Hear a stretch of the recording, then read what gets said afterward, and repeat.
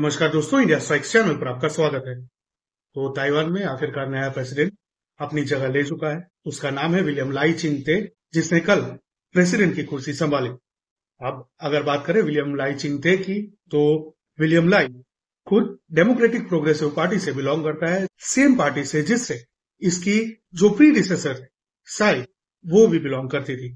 अब अगर इन दोनों के विचार देखे जाए तो जिस तरह से साई का एक क्लियर नेरेटिव था कि चाइना और ताइवान, दो अलग अलग कंट्रीज़ हैं, उसी प्रकार से लाई भी सेम लाइन के ऊपर चलते हुए उसने कल अपनी पहली प्रेसिडेंशियल स्पीच में यह स्पष्ट कर दिया कि ताइवान एक अलग आइलैंड नेशन है और उसको सभी कंट्रीज़ आइलैंड नेशन के तौर पर बुलाए और ना ही चाइना के एक पार्ट के रूप में। तो इसी के चलते चाइना में और यहाँ तक कि ताइवान की जो ऑपोजिशन पार्टी है, जो कि चाइना बैक उसमें काफ़ी ही हड़बड़ी, मच गई है। उसी के चलते बहुत सारे रिएक्शन आ रहे हैं, ताइवान के अंदर से और ताइवान के बाहर से भी, चाइना से यूएसए से और सभी जगह से। लेकिन इस सभी के बीच में ये एक बात स्पष्ट हो जाती है कि ताइवान के जो लोग हैं, जिन्होंने डीपीपी को चुना है डेमोक्रेटिक प्रोग्रेसिव पार्टी को चुना है, और उसमें खासकर विलियम लाई चिंगते को चुना है, वे लोग एक अलग नेशन की ओर देख रहे हैं। तभी ताइवानीज ने इस पर्टिकुलर पार्टी को वोट किया है और हम उन लोगों के इस डिसीज़न को रिस्पेक्ट करते हैं और उसकी सराहना करते हैं कि किसी भी प्रेशर में आए बिना। और चाइना जैसे एक ऑपरेसिव रिजीम के सामने ताइवान के आम लोग खड़े रहे और उन लोगों ने वोट कर जो चाइना की रिजीम थी और उन लोगों के सपोर्ट के साथ जो पार्टीज़ ऑपोजिशन में खड़ी थी। और कंजिक्यूटिवली दूसरी बार उन लोगों को पावर से बाहर रखा है। तो इससे स्पष्ट हो जाता है कि ताइवान की जो पब्लिक है, वे लोग ताइवान को एक अलग नेशन के तौर पर देख रहे हैं और वे लोग ये चाहते हैं कि उनको चाइना के साथ ना जोड़ा जाए। लाई चिंते ने जो स्पीच दी, उसमें उसने ये भी कहा कि समझ लीजिए कि अगर चाइना की जो बात है और जो उनकी वन नेशन थियरी है, उसको एक्सेप्ट भी कर लिया जाए तो उससे चाइना रुकने वाला नहीं है, वो तब तक नहीं रुकेगा जब तक वो ताइवान को ऑफिशियली चाइना में एनेक्स नहीं कर दे अब ये जो चाइना की पॉलिसी की बात ये लाई कर रहा है, उसके पीछे कई सारे प्रूफ्स है, उसके पीछे कई सारे एविडेंसेस हैं, जिससे ये माना जा सकता है कि लाई की जो आर्ग्यूमेंट है वो अपनी जगह पर एकदम ही सच है।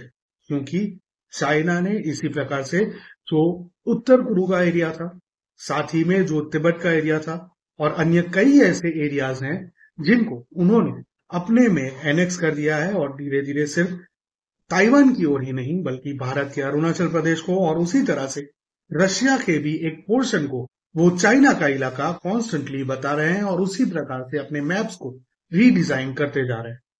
तो उसी के चलते लाई ने यह स्पष्ट कर दिया है कि ताइवान एक अलग आइलैंड नेशन है और उसी हार्ड लाइन के ऊपर लाई आगे चलेंगे, ऐसा दिखाई पड़ रहा है। तो आने वाले समय में देखना होगा कि किस तरह से डेवलपमेंट्स होते हैं। अगर बात करें यूएस की तो यूएसए से एंथनी ब्लिंकन ने स्टेटमेंट दिया है कि अमेरिका ताइवान के साथ वो अपने रिलेशन है, उसको और भी स्ट्रांग करने की कोशिश करेगा। और दोनों ही कंट्रीज़ में जो डेमोक्रेटिक वैल्यूज़ हैं, उनके उन दोनों कंट्रीज़ के बीच में ब्रिज करना रिलेशन और भी स्ट्रांग करना काफ़ी ही आसान हो जाएगा। तो इसी प्रकार से इनडायरेक्टली यूएसए ने एंथनी ब्लिंकन ने लाई की जो बात है उसका समर्थन करते हुए उसको और भी स्ट्रॉन्ग करने की और उसको सपोर्ट देने की बात इनडायरेक्टली कह रही है।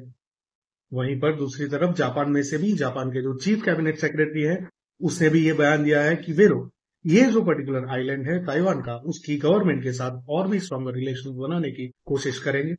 लेकिन यहाँ पर एक कैच है और वो कैच ये है कि जब से फोमियो किशिदा नए जापान के प्रेसिडेंट बने हैं उसने चाइना की ओर और, और भी ज़्यादा झुकाव दिखाया है। तो उसी के चलते जापान चाइना के साथ रिलेशन और भी स्ट्रॉन्ग करने की कोशिश करता हो किस तरह से दिखाई पड़ रहा है तो इसी के चलते उन्होंने ताइवान को एक आइलैंड कहा है। इस पर्टिकुलर स्टेटमेंट में और ना कि आइलैंड नेशन तो आने वाले समय में देखना होगा कि किस तरह से जापान अपनी स्ट्रेटेजी बदलता है ताइवान और चाइना के बीच में बैलेंस बनाकर रखने के लिए और किस तरह से वो आगे बढ़ता है। भारत के लिए हम लोग, ताइवान, चाइना, दोनों ही एक बहुत ही अलग मुद्दे हैं, लेकिन ये बात स्पष्ट है कि अगर कोई नेशन अपने आप अलग इंडिपेंडेंट नेशन के तौर पर देखना चाहता है और उसके ऊपर कोई भी ऑपरेसिव रिजीम प्रेशर बना, अपने अंदर एनेक्स करने की कोशिश करती है तो हम भारतीयों को उसके खिलाफ आवाज़ उठानी चाहिए। तो हम अपने माध्यम से ये स्पष्ट कर दे कि ताइवान की और लाई चिंगते की और उसके ताइवान के आम लोगों की जो आवाज़ है, जिसमें वे लोग चाइना से अलग होने की बात, एक अलग आइलैंड नेशन होने की बात कर रहे हैं, उसको हम सपोर्ट करते हैं। लेकिन फिर से ताइवान का एक अपना अलग मसला है, भारत के साथ, भारतीयों के साथ। तो उसके हम ज़्यादा फेवर में नहीं है। तो let's see how it flows लेकिन ताइवान के लोगों की इस पर्टिकुलर बात का हम समर्थन करते हैं कि ताइवान चाइना का हिस्सा नहीं है, वो एक अलग आइलैंड नेशन है। और चाइना को उसके ऊपर कोई भी इस प्रकार का एक्शन नहीं लेना चाहिए, जिससे ताइवान के लोगों के ऊपर दबाव बने या फिर यहाँ तक कि ताइवान की गवर्नमेंट के ऊपर भी किसी भी प्रकार का दबाव बने।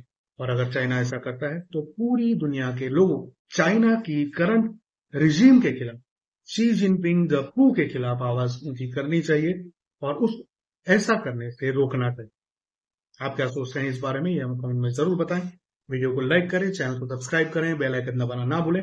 ताकि आप इस प्रकार की रेगुलर अपडेट्स मिलती रहें। मिलेंगे अगली खबर में। तब तक के लिए जय हिंद, हर हर महादेव।